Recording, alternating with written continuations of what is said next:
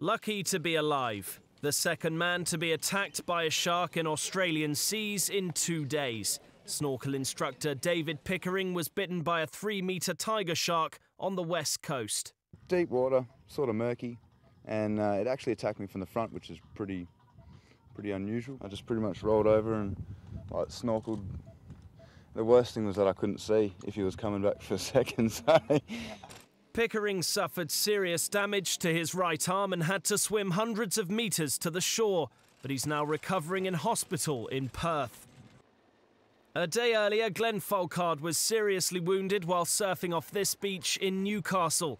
It's thought he was attacked by a great white. He sunk his teeth in down near the knee and come out up here, so there's a big C shape in there. The 44 year old's already had surgery on one of his legs and his torso. He's undergoing another operation today.